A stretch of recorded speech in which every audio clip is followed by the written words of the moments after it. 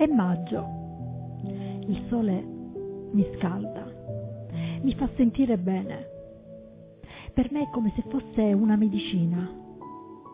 Forse in questo momento mi sta donando con amore un rimedio utile per la mia salute.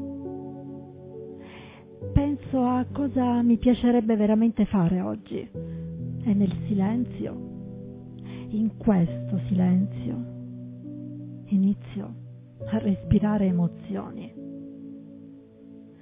Il tempo passa, ma niente, niente Niente, non succede proprio niente. È possibile.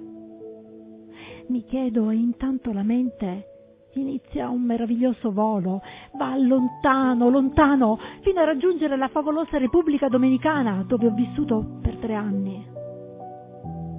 Penso al mio amore Rosario. Vorrei tanto rivederlo, mi sembra di sentire il suo profumo nell'aria che respiro. È talmente impresso nella mia memoria da avvertirlo forte, qui, proprio come se lui fosse vicino a me, adesso. L'odore della sua pelle, oh sì, l'odore della sua pelle. Era stato creato per me, ne sono certa.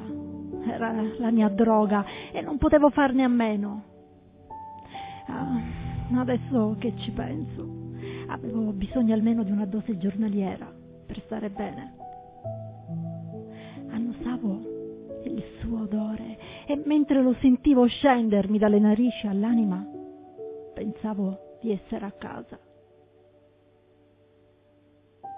Lui Non lo vedo più. Il nostro meraviglioso tempo si è disciolto nell'oblio.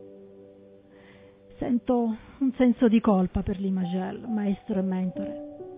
Arriva nella mia vita all'improvviso. Lo amo da subito. Sento di potercela fare.